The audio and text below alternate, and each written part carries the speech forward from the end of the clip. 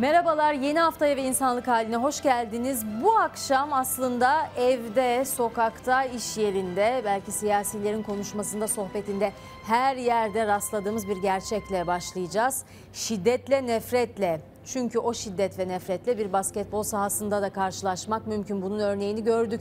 Neden ve nasıl engellenir bunu soracağız. Mültecilerin yeni evlerinden bahsedeceğiz. Hapishaneler, neden diye sorabilirsiniz. Yanıtı insanlık halinde olacak ve Zonguldaklı madencilerden bahsedeceğiz. Açlık grevine başladıkları ilk günden itibaren insanlık halinde gerçeklerini, hikayelerini anlatmıştık. Onlar haklarına kavuştu, kavuşmayı bekliyorlar ama Ermenek'ten benzer bir sessiz çığlık geldi. Hepsi şimdi insanlık halinde olacak.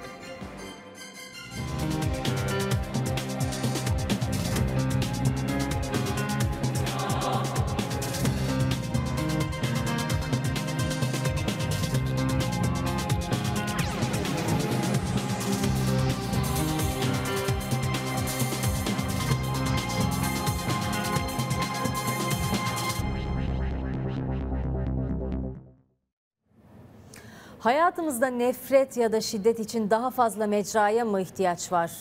Ya da birbirimize artık o kadar tahammülsüz hale mi geldik? Bu soruları soruyoruz çünkü yanıtımız galiba evet her yerde karşılaşabiliyoruz nefret suçlarıyla, şiddetle. Bir basketbol sahasında bile Fenerbahçe basketbol takımının baş antrenörü Obradoviç'e yapılan o tükürüklü saldırı dememiz lazım. Bunun son örneği ama tek örneği değil. Aynı zamanda sahaya inip hakemi yaralayan ya da futbolcuyu kovalayan taraftarlar da bunun bir örneği. Protokol tribününde şiddete uğrayan yöneticiler de bunun bir örneği.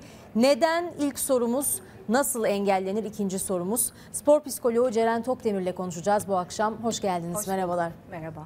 Galiba neden diye sohbet etmeye sıra gelmiyor. Çünkü biz hala bir e, saldırının ya da şiddetin boyutlarından bahsediyoruz. Tükürük müydü, ayran mıydı gibi böyle bir tuhaf sohbet var. Neden böyle? Ee, aslında konuşulanların hiçbir önemi yok. Yani ayrıntılar o kadar önemsiz ki çünkü işin e, genelini kaçırıyoruz. Çok önemli e, bir buzdağının çok ufak bölümünü tartışıyoruz. E, çok acil artık bu buzdağının ortaya çıkması ve gerekenlerin yapılması lazım. E, yaklaşık ben 10 senedir e, bu sporda şiddet konusunu ince, incelemek durumundayım mecburen. E, fakat inanın basketbolda bu kadar hızlı bir Tırmanış. e, tırmanışı beklemiyorduk. E, bir öngörü vardı yapılan araştırmalarla, istatistiklerle bir öngörü vardı. E, fakat basketbolun seyircisinin belli bir etiği e, ve daha sakin bir tavrı vardı e, son 10 seneyi 10 senenin başlangıcından bahsediyorum ama gerçekten çok hızlı bir e, tırmanış ortaya çıktı ve gerçekten bu çok üzücü. Biz burada aslında takımlardan, yaşanan olaylardan ya da isimlerden de bahsetmiyoruz. Genel bir şiddetten bahsediyoruz. Bununla ilgili mevcut uygulama ne kadar caydırıcı? Hı hı. Yani cezalar ne ölçüde? Örneğin biz tespit edebilecek miyiz bu kişiyi? Ne göreceğiz sizce? Şimdi çok doğru bir şey söylüyorsunuz. Bu noktada artık hiç kimsenin, hiçbir takımın, hiçbir rengin, hiçbir şeyin önemi yok. Bunların tartışılmaması lazım ve e, tavandan tabana kadar her yere hakim olmuş bir kirlilik söz konusu. Yani artık e, maalesef basketbolda da spor kültüründen bahsedemiyoruz. Spor kültürünü kaybetmiş bulunuyoruz ki vardı. İşin üzücü kısmı bu.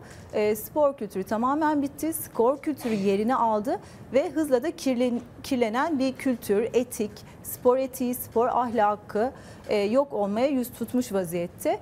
E, burada da artık ufak ayrıntılarla tar tartışılmaması gerekiyor ve e, derhal ve acil tavandan bir yaptırımın gelmesi gerekiyor. En tepeden. En tepe olarak kimi görmek lazım? Bir bakanlık var, e, federasyonlar var, kulüplerin açıklamaları var ve taraftar da var. Hı hı. Aslında hepimiz, hepimizin taraftar olduğunu düşünürsek bu kümenin içindeyiz. Yani ne yapılması lazım? Ben daha da tepelerden artık yaptırımların gelmesi gerektiğini düşünüyorum. Çünkü e, her şey e, işin içinde, her yerde bir kirlilik var maalesef. Bir de şöyle şiddetin artmasının bir nedeni de e, yapılan araştırmalara göre eğer bir yerde adalete olan inanç sarsılmışsa, sarsılmışsa şiddet inanılmaz artıyor. Çünkü herkes e, yapılan haksızlığı... Kendi adaletini sağlamaya çalışıyor. Evet ve en ufak bir yanlış anlaşmada kendine çok ciddi bir e, e, haksızlık olduğunu düşünüyor ve bir de grup psikolojisini düşününce e, çok tehlikeli hale geliyor bu. E, benim aslında bugün biraz daha karamsarım çünkü ben olayların e, ciddi bir şekilde artacağına inanıyorum basketbolda. Çünkü basketbolun e, başka e, bir tarafı da var. Hani futbolda daha biraz önlenebiliyor. Ama saha yakın başka endişelerimiz söz konusu oluyor bu durumda. Çünkü son olaylar da bunu gösterdi. O yüzden ben biraz acil yaptırımların artması gerektiğini düşünüyorum. O zaman siz yasal uygulamalar ve düzenlemelerden Yasal uygulamalar var, düzenlemeler var e, fakat uygulanmıyor. Yani ciddi bir şekilde uygulanması ve e, maalesef biz tabii ki bilim insanları her zaman eğitimden yanayız, her zaman e, uzun vadeli planlardan yanayız ama şu durumda, şu günkü durumda e, acil bireysel yaptırımlar belki ortaya konmalı. E, birilerinin canı acımazsa e, bu çünkü yapılan hiçbir şekilde kimsenin e, bireysel bir ceza olmadığı için yanına kar kalıyor. Özellikle grup psikolojisi de artıyor. Tamamen hiç bu işleri yapmayacak insanlar bile tamamen kimlik değiştirip şiddete bulaşıyorlar. Dolayısıyla bir yaptırımın yapılması lazım. E, acil e, bu göstermelik toplantılar da artık olmasın lütfen. Hani her olaydan sonra Kınama mesajları. kınama mesajları, toplantılar işte yani bu üst Var düzeyde mı de bir yapılıyor. öneriniz? Yani hakikaten e, taraftar psikolojisi açısından da bakıldığında şöyle bir adım atılırsa biz böyle vakaları Ee, görmeyiz. şu durumda bireysel cezalar arttırılmalı ki hani acil bir e, sakinleşme söz konusu. Çünkü bizim önerdiğimiz önerilerin şu an pek bir anlamı yok. Yani neler öneririz? Yöneticilerin sağduyulu olması. Sizce bir anlamı var mı şu ortamda? Olabilir mi? Olamaz. E, tam tersi etkileri var. E, herkesin değil tabii ki çok sağduyulu yöneticiler de var ama e, taraftarın daha çok kendini örnek aldığı kişilerden e, bahsediyorum. E, taraftar çünkü seviyor biraz e, Taraftar aynı zamanda ama basketbolcuları ya da futbolcuları da örnek alıyor. Dolayısıyla onların arasındaki Evet. gerginlik ve şiddetin bir örnek evet. olacağını düşünebilir Ee, misiniz? İyi örneklerin öne çıkarılması lazım ama maalesef bu ortamda çıkar- çıkamıyorlar da. Çünkü başka bir e, baskı söz konusu. Hani biraz sağduyulu konuşan, e, daha olayları yatıştırmaya çalışanlar çok hoş karşılanmıyor. Çünkü ortam o kadar e, heyecanlı ve e, gergin bir ortam ki onlar arada kaynıyor ve belki de e, insanların içinde belli bir şiddet doğası da var e, belli zamanlarda ortaya çıkan. Şu an o var yani toplumun geneline baktığımız zaman da aslında spor her zaman toplumun bir yansımasıdır. E, şu anda da toplumda bir e, şiddet eğilimi var. E, son yıllarda eğrisi gittikçe artan her konuda e, kadına, çocuğa, hayvanlara maalesef şiddet çok artmış vaziyette. Tabii ki sporda e, hayatın tam bir yansıması olduğu için burada da onu görüyoruz. Dolayısıyla yaptırımlar artması bana şu an ya genelde bilim insanları maalesef hiç hoşlanmaz bundan ama şu an için Engelleyici ve önleyici enge, olacak. engelleyici ve önleyici çünkü daha tatsız şeyler e, Düne yakında. tekrar dönmek istiyorum. Çünkü siz hem aslında sporcuların psikolojisiyle ilgileniyorsunuz hem de taraftarla ilgili az önce bahsettiğiniz saha araştırması. Örneğin basketbolla ilgili dediniz ki böyle sinyaller geliyordu. Geliyor. Pek az böyle araştırma vardır ya da biz biliyoruzdur belki. Taraftarın psikolojisini anlamak da çok önemli. Yani nasıl bir ruh halidir ki bir baş antrenörün yüzüne tükürme ihtiyacı hisseder tırnak içinde söylüyorum. Ne yaşıyor olabilir ki? Bunu nasıl anlatmak Tabii lazım? aslında pek çok teori var şiddetle alakalı. Birincisi e, modelleme. Kişiler model alıyorlar şiddet e, Uygulayanları. göster- Tabii uygulayanları, söylemleri. Yani illa hareket olması gerekmiyor. Eğer e, örnek aldıkları başkanları e, ya da işte kişiler bu söylemlerdeyse hemen onu örnek alırlar. Modelleme olur. Grup psikolojisini biz çok önemsiyoruz. Çünkü e, çok artar. Normalde çok sağduyulu, eğitimli, hani bu işlere girmeyecek insanlar grup içinde çok e, şiddet gösterebiliyorlar. Bir de şiddetin çok bulaşıcı bir tarafı var. E, şu anda da aslında onu görüyoruz. Her yerden bulaşmış vaziyette. Bir de basketbolun kendi seyircisi e, vardı. Dediğim gibi bu araştırmaları yaparken şimdi e, futbol seyircisiyle birleşti. Neden değişti dönüştü sizce? Yani ne olur da taraftar belli bir e, davranış özelliği gösterdikten sonra bunda bir kırılma yaşanır? E, şöyle dediğim gibi e, tavandan tabana doğru diyeceğim ben. Oradan Genel bir etkilenme. başladı yayılma. Yani incelediğiniz zaman e, öyle ki öyle enteresan sonuçlar çıkıyor ki hani e, o dönemin başkanı nasılsa taraftar da öyle davranıyor. Hakikaten bunları görebiliyoruz biz istatistiklerle, e, olaylarla. E, ama çok uzun yıllardır e, şiddetin istemediğimiz e, yönüne doğru giden bir ivme var şu an söz konusu olan ve gerçekten de e, endişe verici sinyaller daha da artıyor. Dediğim gibi biz basketbolda öngörüyorduk e, şiddeti ama bu kadar e, şu seviyede inanın e, sürpriz oldu diyebilirim. Aslında şimdi böyle sayabileceğimiz çok fazla taraftar özelliği gösteren spor dalı kitleler tarafından takip edilen yok herhalde. Teniste çok güzel başarılar genç kızlar, Evet. genç sporcular kazanıyorlar ama bir kitle sporu olarak kabul görmüyor. Biz o başarılara sevinmekle kalıyoruz. Futbol birincisi, basketbol ikincisi ve birbirine yaklaştı dediniz bunlara gösterdiğimiz tepkiler. Bir üçüncü var mı sizi şaşırtan, ilerleyen, yükselen? Olumlu anlamda da olabilir elbette. E, olumlu anlamda tenisi olumlu görüyorum ben. E, başarılar çok önemli. E, özellikle hanımların işin içinde olduğu başarılar çok önemli. Bir de şunu da söylemek istiyorum. Basketbolda e, çok hanımlar çok fazla işin içindeydi. Yine son 10 senelik süreçten bahsediyorum. E, biraz yine uzaklaşmaya başladılar. Daha erkek e, kitle hakim olmaya başladı grupta. E, hanımların uzaklaşması da Ya da e, biz kadın voleybol takımımızla çok ciddi takip ettiğimiz, gurur duyduğumuz bir e, dönemde Evet, oldu yani. evet. Başarılar çok önemlidir. Ee, dolayısıyla başarının olduğu sporlarda şiddet daha da az olur. Hmm. Mesela teniste şöyle bir durum var. Türkiye temsil ediliyor. Bu herkesi e, gurur duyuyoruz. Herkes olumlu yönde etkileniyor. O tabii ki daha e, olumlu bir ortam yaratıyor. E, ama dediğim gibi e, bölünmeler e, çok tehlikelidir.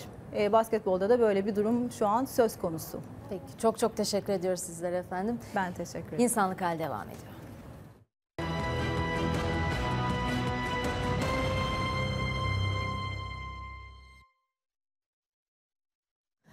Hollanda'da bir hapishaneye gideceğiz sizlerle birlikte. İçeridekilerin hepsinin ortak bir özelliği var. Hepsi mülteci.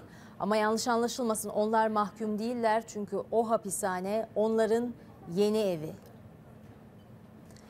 Nasıl olur diyeceksiniz anlatalım. Şöyle olmuş Hollanda'da suç oranındaki düşüş yüzünden hapishaneler atıl durumdaymış. Onlarca cezaevi kapatılmış. Yeniden kullanıma, tırnak içinde geri dönüşüme farklı bir bakış açısı getirmişler ve hapishanelere mültecileri yerleştirmişler. Hollanda'ya sadece geçen yıl 50 bin mülteci geldi. Biz aslında farkında mısınız hikayelerini hep bir yere kadar getirip bırakıyoruz. Suriye'den Türkiye'ye nasıl geldiler, Ege'yi nasıl geçtiler, Yunanistan daha sonra nasıl ilerlediler. Neticede Almanya'ya, Hollanda'ya, Belçika'ya yani gitmek istedikleri yerlere gidince onlar diyoruz ki tamam. Ama hikaye bitmiyor aslında yeni başlıyor. Bakın işte o yeni başlayan hikaye. Hücreler odaları haline gelmiş. Dikenli tellerin çevirdiği bir avlu var. Orası da onların bahçesi. Sadece Suriyeliler değil, farklı ülkelerden de mülteciler var. Peki ne yapıyorlar? Nasıl yaşıyorlar? İşte bir genç kızı görüyorsunuz. Hücresinin odasının tırnak içinde kapısından bakıyor. Sığınmacı statüsü bekledikleri süre boyunca cezaevlerinde 6 ay yaşamak zorundalar. Elbette istedikleri zaman içeri girip çıkmakta özgürler. Çalışma izinleri yok fakat dil öğreniyorlar. Bir gün bu ülkenin vatandaşı oluruz umuduyla. Bisiklete binmeyi öğreniyorlar. Yine bir gün Hollanda'da yaşarız umuduyla.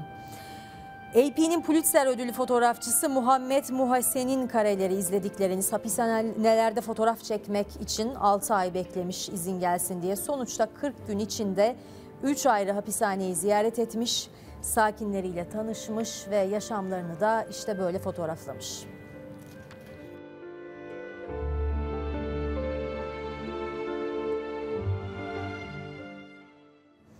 Mültecilerle devam edelim.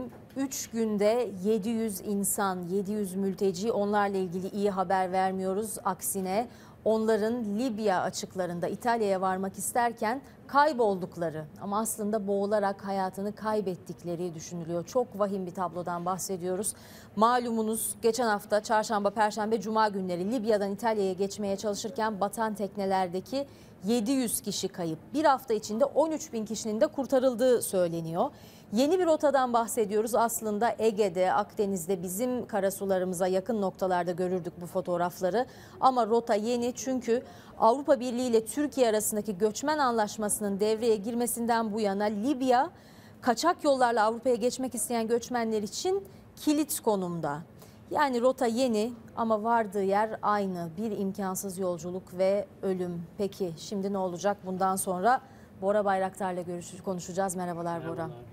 Şimdi hakikaten bakınca konuşmakta zorlanıyorum. Göç yolu değişti sadece. Tablo aynı gibi. Evet. Bu hem bize hem Avrupa'ya ne anlatıyor? Yani önünü alamaz mıyız herhangi bir Ee, şekilde? Yani şunu anlatıyor hem Avrupa'ya e, daha çok Avrupa'ya Daha çok yani Avrupa'ya. şu anda e, e, ortaya koydukları çözümün çözüm olmadığını e, bu yaklaşımla e, bu krizin önüne geçilemeyeceğini E, ve buna benzer e, ölümlerin daha fazla olma ihtimalinin çok yüksek olduğunu gösteriyor.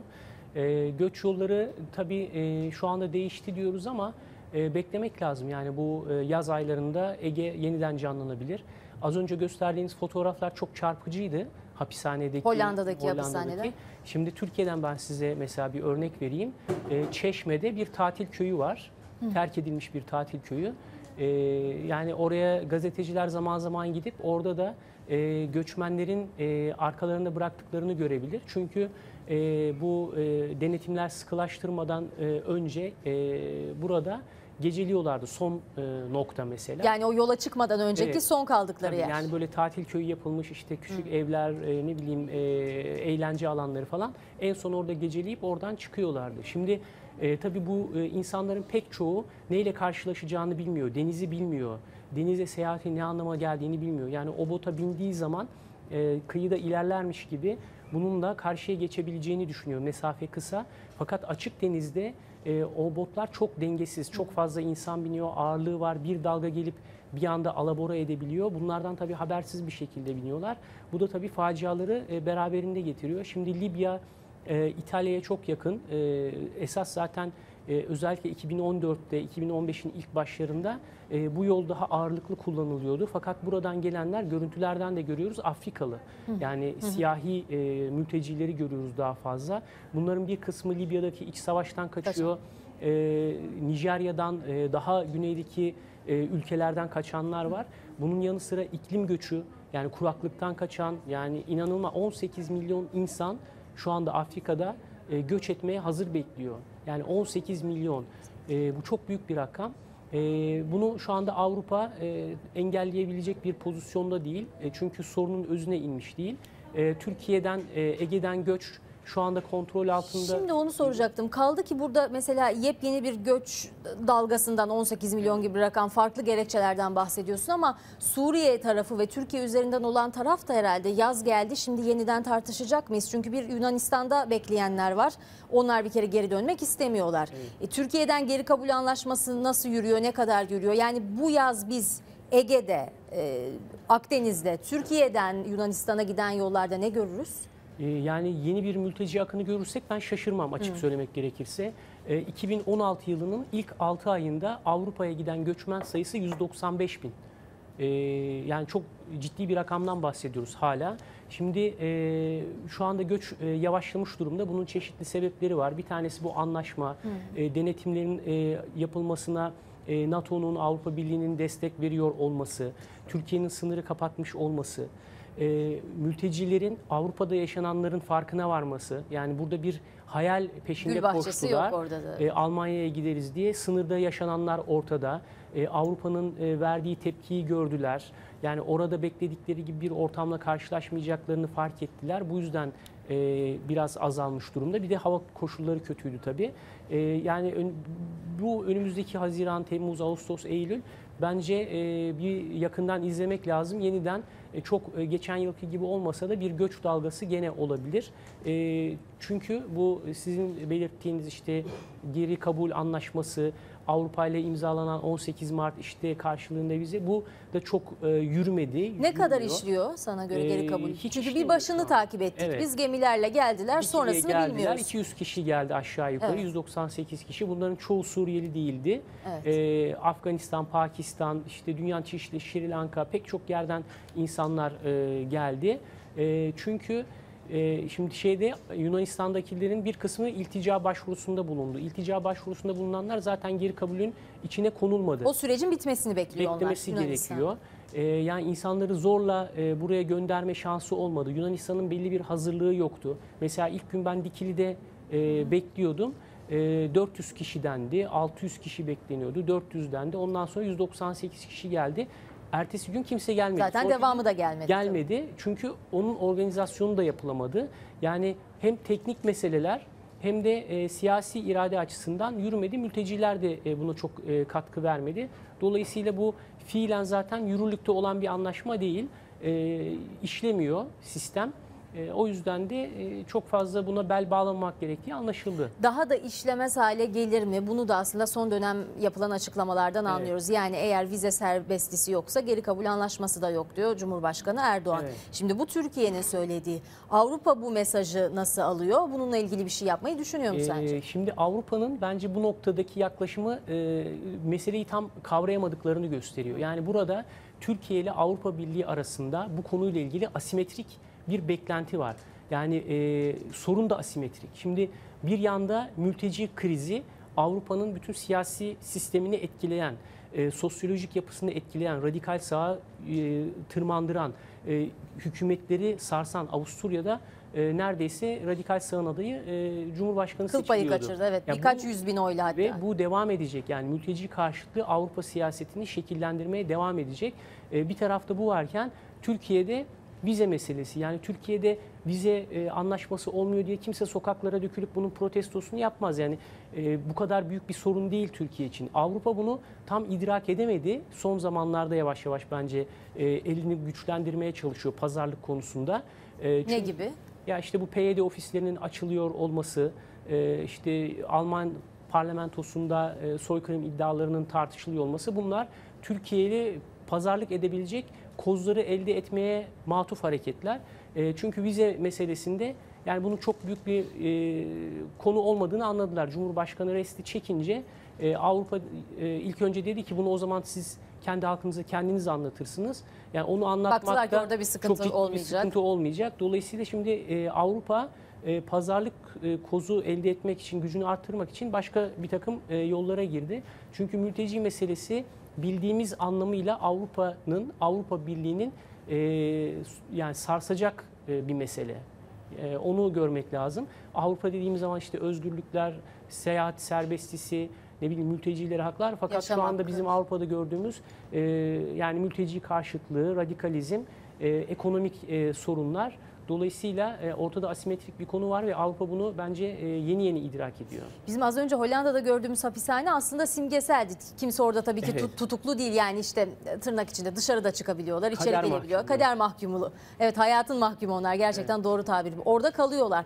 Ama o hapishanelere benzeyen şartlarda yaşayan Avrupa'da e, binlerce göçmen var Evet. belki. Fakat bunu hep başından beri bir pazarlık olarak tarif ediyoruz ya. Yani haberlerde de böyle geçiyor. Her pazarlıkta sorulur ya bunun son oluru nedir? Son ne Evet. olur? Hakikaten bu tabloda son ne olur Türkiye ve Avrupa için? Ee, ne bekleyelim? Bence bunun bir oluru yok açık söylemek gerekirse. Yani Türkiye ile Avrupa Birliği bu konuda bence anlaşma zemininden çok uzak. Türkiye zaten 3 milyon mülteciyi barındırıyor. Zaten buna e, harcamasını yapıyor. Bunun bir maliyeti var. Ve bu maliyeti şu anda hem devlet hem de toplum üstlenmiş durumda. Durumda, evet. E, Avrupa ile kıyaslanamayacak şekilde. O anlamda e, Avrupa'nın pozisyonu bu değil. Avrupa kesinlikle e, bu göçmen akınına karşı E, ve bunu e, Türkiye'nin üzerine yıkıp kendisi elini yıkayıp bu işten çıkmak istiyor. E, ama bu da o kadar kolay değil. Tamam Türkiye'nin mesela önünü kestiniz Türkiye'den akışın. Türkiye kendi kaderiyle baş başa burada mültecileriyle bir şekilde kendi sorununu çözmeye çalışacak ama e, Libya'dan gelenleri ne yapacak Avrupa? Yani Afrika'dan e, çok ciddi e, bir mülteci akını var. Yani bu işte en son insan e, insani zirve vardı Birleşmiş Milletler'in Evet. İstanbul'da. E, Bunlar biraz konuşuldu ama Bir sonuca e, varılamadı. Orada da meselenin idrak edilmediğini gördük. Ve büyük ülke- ülkelerin liderleri buraya gelmediler. Çok da e, ellerinde taşın altına koyacak gibi değiller. Dolayısıyla insanlık bu anlamda çok e, ciddi bir e, sıkıntıya doğru gidiyor. Felaket demeyeyim ama bu konuda çok ciddi bir sıkıntı var ve Avrupa bunun bedelini e, bence ödüyor. Daha da e, fazla Yeni başladı gibi. Evet. Türkiye'yi nasıl bir fotoğraf bekliyor peki? Rakka operasyonunun ardından Türkiye'nin başından beri üzerine titrediği ve her fırsatta söylediği Azez Mare hattına da sınıra bir yığılma oldu. Yeni bir göç dalgası başlar deniyor. Ne Ee, bekleyelim? Yani Türkiye için esas e, kritik nokta Halep. Eğer Halep'te e, bir e, sıkıntı olursa oradan Türkiye'ye akın etmeleri daha kolay. Rakka'dan da gelenler var. Özellikle Urfa, Akçakale'ye e, yani geçtiğimiz haftalarda, aylarda da küçük küçük de olsa gruplar geliyordu. E, bunlar kitlesel bir şekilde e, kapıya dayanabilirler. Bu bir ihtimal. Ama Türkiye için bence asıl kritik soru Halep o Halep'in kuzeyindeki hatta neler olacağı. Orada da tabii çok ciddi sorun var Türkiye açısından. Yani Rusya ile Amerika şu anda koordineli bir şekilde hareket ediyorlar ve e, PYD'ye bir alan açılıyor. E, bu Türkiye açısından hem siyasi anlamda hem güvenlik anlamında eğer buna mülteci meselesi gelirse e, insani kriz anlamında da e, Eklenecek yeni yazın bir boyut. sıcak geçebilir. E peki siyaseten ne bekleyelim? Siyaseten çok e, sorunlu yani şu anda bir şey söylemek çok zor. Ama e, Türkiye ile Amerika arasındaki ilişkiler PYD meselesinden dolayı e, gerilimli olacak. E, bunu söylemek zor değil. E, Rusya şu anda e, işte Putin biliyorsunuz Atina'daydı. E, biraz e, Karşılıklı Türkiye'yi açıklama. E, çabası içerisinde Rusya Türkiye'yi kuşatmaya çalışırken e, NATO'nun güney kanadını da biraz gevşetiyor. Aslında o Türkiye açısından bir tutunma noktası. E, bu yaz ayında Polonya'da, Varşova'da NATO zirvesi olacak. Bence orada eteklerdeki taşlar dökülür. Çok sert tartışmalar yaşanır. Ama neticede Amerika bir süper güç. Biraz kendi istediği gibi gitmeye çalışıyor. Ne zaman ki baltayı taşa vururlar o zaman belki oturup konuşurlar. Bir de tabii Amerika seçimleri olacak. Donald Trump gelirse o zaman e, tam Bambaşka- bir olacak. yani. Bambaşka bir sohbetle tekrar değerlendirmek gerekecek. Son sorum olsun o zaman Rusya dediğin için. Bu gelen açıklamaları karşılıklı arayı düzeltelim, ilk adımı siz atın, bir adım atın biz size on adım atarız e, güzellemelerini nasıl yorumluyorsun? Bence şu an e, çok prematüre yani oradan ben e, bir şey çıkacağını zannetmiyorum. Konuşalım derken Rusya kendi şartlarının kabul edilmesini muhtemelen e, Kastediyor. bekliyor. Yani özür falan bekliyorlar. Bunları da Türkiye'nin yapacağını zannetmiyorum. Dolayısıyla böyle e, soğuk bir şekilde ilişkiler devam edecektir diye tahmin ediyorum. Bora Bayraktar çok çok teşekkür, teşekkür ederiz. ederim. İnsanlık hali devam ediyor efendim.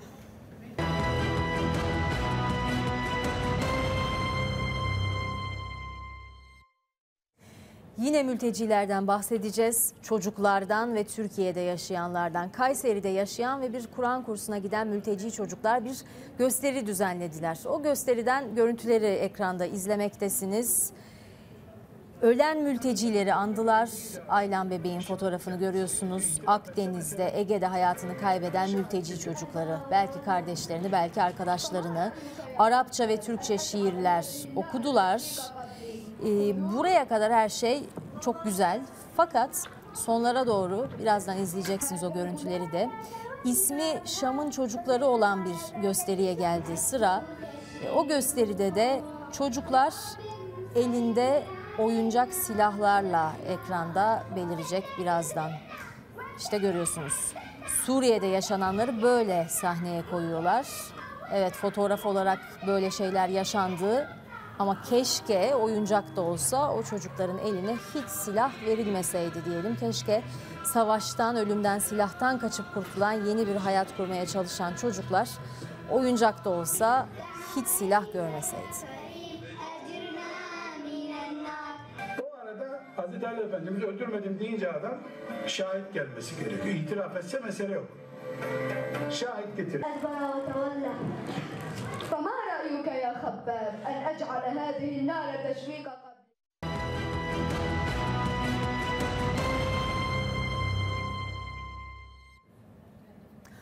11 gün boyunca yerin metrelerce altında gece gündüz aç susuz beklediler.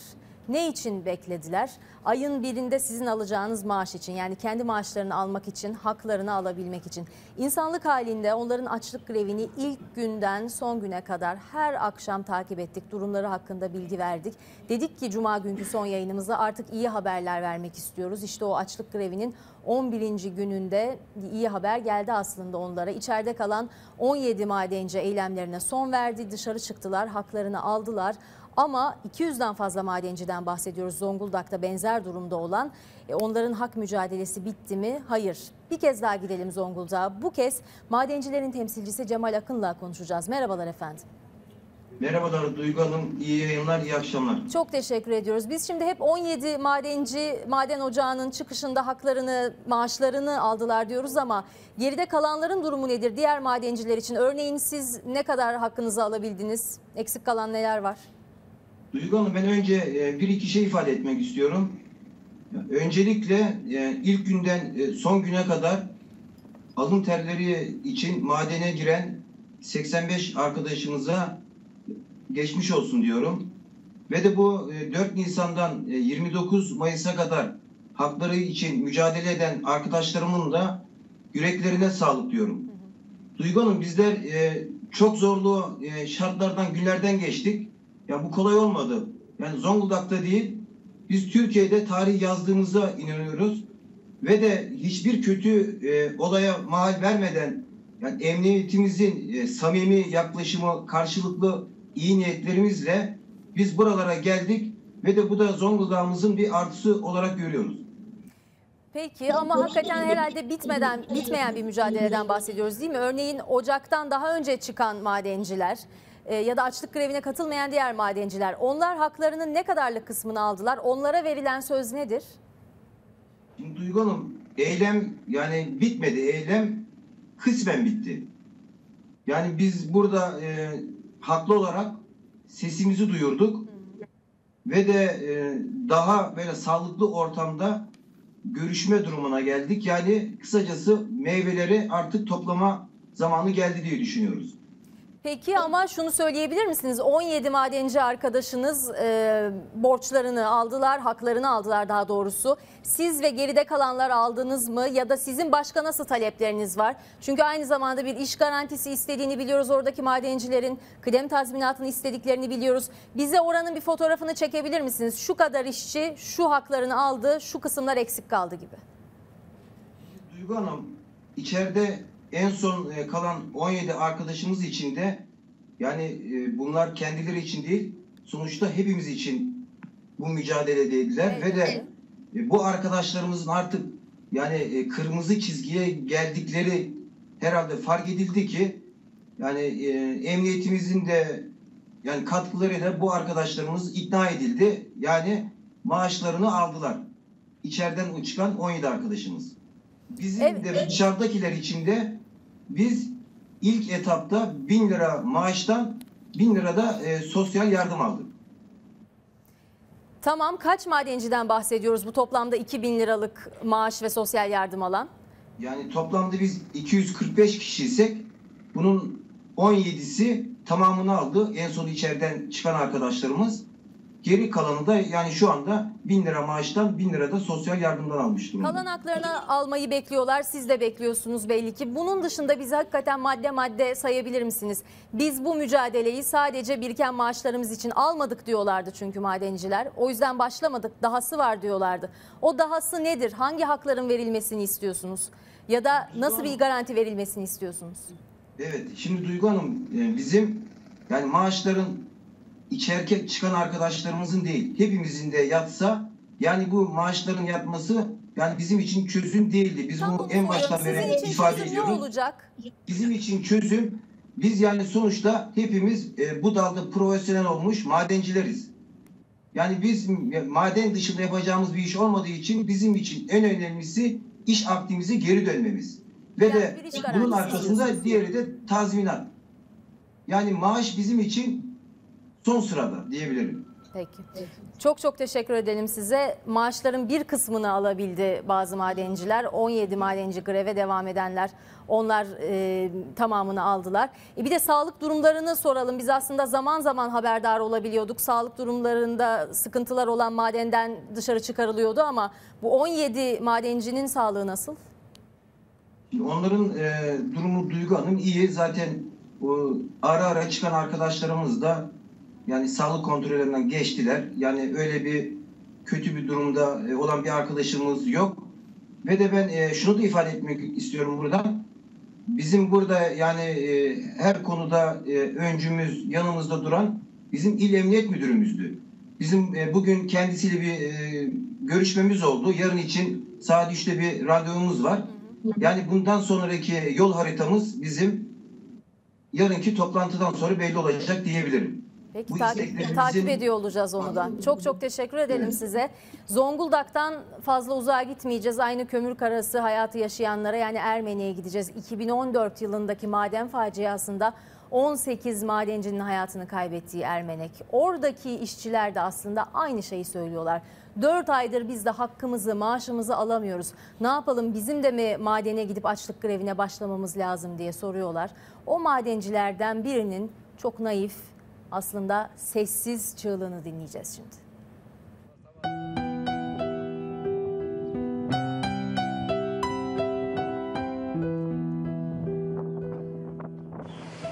Şu anda biz Özkar Cende Kömür işletmelerinde çalışan işçiler olarak grev yapmaktayız. 4 aydır maaşımızı almadığımız yüzünden. 4 aydır maaş alamıyoruz. Evimiz kira, bakkala borcumuz var. Hiç bizimle ilgilenen kimse yok. Amiller de sen öylesine geliyorlar paramız olunca yatıracağız deyip çekip gidiyorlar. Hiç sizde para var mı diyen yok. Yani bu işe bir artık kim çözüm bulacaksa çözüm bulmasını istiyoruz.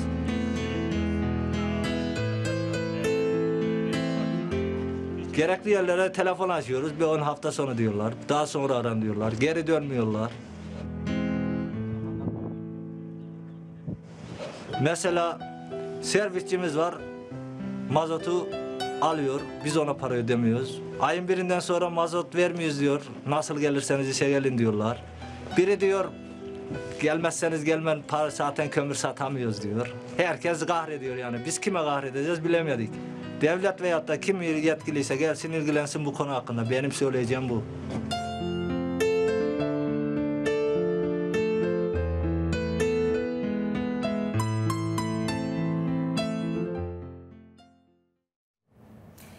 Dönmek mümkün mü? Herhalde onlar için bu sorunun yanıtı haftalarca, aylarca imkansız oldu. Ama onlar da eve döndüler. Hakkari Yüksekova'daki sokağa çıkma yasağı kısmen kaldırıldı. 80 gün sonra evlerine dönenler bakın nasıl bir manzarayla karşılaştı.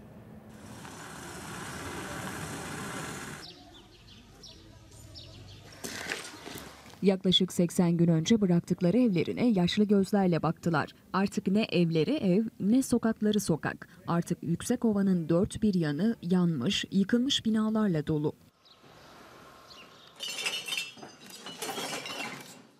Hakkari'nin Yüksekova ilçesinde evlere bomba tuzaklayan güvenlik güçlerine ağır silahlarla saldıran teröristlere karşı yürütülen şehit jandarma uzman çavuş Ramazan Gülle operasyonu 23 Nisan'da tamamlanmıştı. Ancak o günden beri teröristlerin tuzakladığı patlayıcılar imhasız sürdüğü için sokağa çıkmak yasaktı. Hakkari Valiliği operasyon kapsamında ilçedeki hendek ve barikatların kaldırıldığını, yaklaşan Ramazan ayı öncesinde yasağın kısmen kaldırılmasına karar verildiğini açıkladı. Ve sokağa çıkma yasağı Ramazan'a kadar her gün sabah 6 akşam 20 arasında, Ramazan ayında da sabah 6 akşam 22 arasında kaldırıldı. Haber duyulur duyulmaz Yüksekovalılar yollara düştü. Ek seferler açtık. Şu anda yoğun, bayağı yoğun. Gelemiz gerekiyor artık bu andan şuradan buradan yasa artık ev mi kalmış kalmamış mı artık bilmiyoruz artık. Sabah erken saatlerden itibaren yüzlerce kişiyi taşıyan araçlar ilçe girişinde kuyruklar oluşturdu. Kontrol noktasından geçip ilçeye girdiğinde ise onları harabeler karşıladı.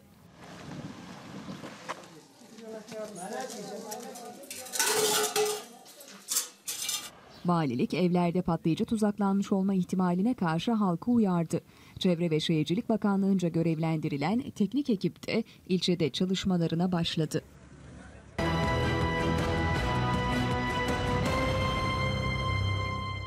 Birbirinden yüzlerce kilometre uzaklıkta iki okula gideceğiz şimdi. Biri Ankara'da, diğeri Şanlıurfa'da.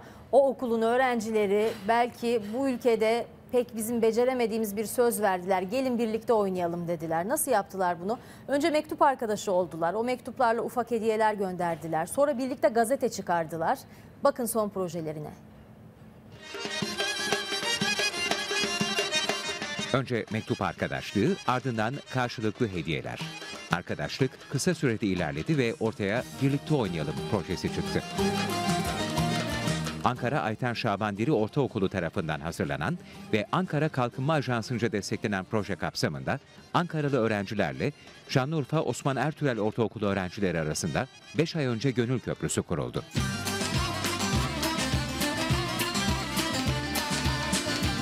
Öğrenciler arasında mektuplaşmayla başlayan Gönül Köprüsü daha sonra karşılıklı gönderilen hediyelerle arkadaşlığa dönüştü.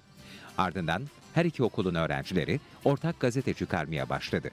Bu işbirliği ortak fotoğraf sergisiyle devam etti. Son olarak iki okuldan 32 öğrencinin katılımıyla halk oyunları ekibi oluşturuldu. Çalışmaların ardından Ankaralı öğrenciler Şanlıurfa'ya gitti. Öğrenciler mektup arkadaşlarıyla 4 gün boyunca Şanlıurfa'nın tarihi ve turistik yerlerini gezdi. Projenin gizli amaçlarından bir tanesi kültürel gezi. E, çocuklarımız e, Güneydoğu'nun bu güzel şehrini görme fırsatı, buradaki arkadaşlarını, insanları tanıma fırsatı buldular. Halk oyunu öğrenen öğrencilerimiz çok e, heyecanlandılar. Aralarında çok güzel diyaloglar oluştu. Gezilerden sonra halk oyunları ekibi Şanlıurfa Osman Ertürel Ortaokulu'nda öğrenci ve velilerin de katıldığı bir etkinlikte gösterilerini sundu.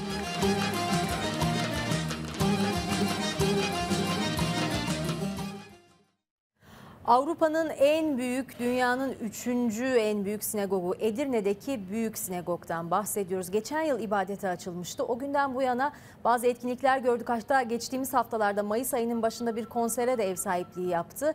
Yapılmayan çok önemli bir etkinlik vardı. O da gerçekleşti. 41 yıl sonra bir nikah kıyıldı.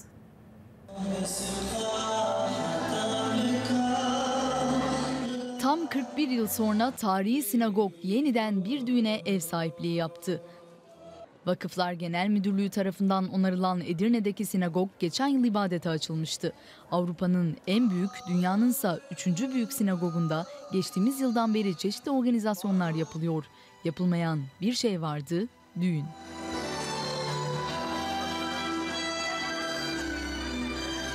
Edirne Sinagogu'nda son düğün bundan 41 yıl önce yapılmıştı ve o hasret son buldu. 41 yıl aranın ardından yeniden düğün heyecanı yaşandı. Musevi cemaatinin Edirne'deki tek temsilcisi iş adamı Rifat Mitrani'nin eşi Sara Mitrani ile evlendiği sinagogda bu kez ailenin 30 yaşındaki kızları Güneş Mitrani ile İstanbul Musevi cemaatinden Harun Esentürk dünya evine girdi. Düğün için sinagog çevresinde geniş güvenlik önlemleri alındı. Gelen konuklar tek tek arandı. Düğünde Edirne Vali Vekili Mehmet Tekin Arslan, Belediye Başkanı Recep Gürkan, Türk Musevi Cemaati Başkanı İshak İbrahim Zadah ile çiftin aileleri ve yaklaşık 3000 davetli katıldı. Dini nikah ve duaların ardından belediye başkanı tarafından resmi nikah kıyıldı. Hiç kimsenin etkisi altında kalmadan kendi özgür iradenizle evlenmeyi kabul ediyor Düğün sosyal medya platformu Periskop'ta da yayınlandı. Bazı kullanıcıların hakaret içeren mesajları üzerine Türk Musevi Cemaati Başkanı İshak İbrahimzade, Adalet Bakanlığı ve meclise yorumlar nefret suç oluşturmakta mıdır diye sordu. Hayata kuvvetle tutunan biriyle tanıştıralım sizi. Zift'le. O bir yavru köpek. Peki neden böyle bir ismi var? Hikayesi o kadar da kolay değil aslında. Çünkü Zift birazdan göreceksiniz fotoğraflarını. Bir tankerden sızan petrol yüzünden Zift'e bulanmış halde bulundu. Hayati tehlikesi vardı. Zonguldak Ereğli'de sokak hayvanları rehabilitasyon ve bakım merkezinde 3 veteriner hekim 54 gün boyunca onu tedavi etmek için uğraştılar. Adı da bu yüzden Zift oldu. İyi haber verelim. İyi haberle tamamlayalım insanlık halini. Zift şimdi eski sağlığına kavuştu. Az önce gördüğünüz bu ilk fotoğraf onun son fotoğrafı. Kısa bir ara sonra buradayız.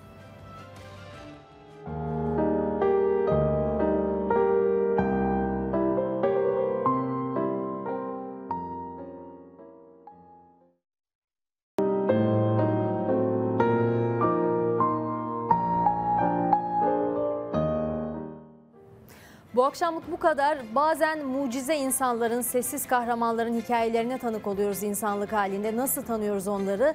Sizin yazdıklarınız sayesinde lütfen yazmaya devam edin. İnsanlık hali et cnnturk.com.tr mail adresimiz. Yarın akşam saat 20'de görüşmek üzere. Hoşçakalın.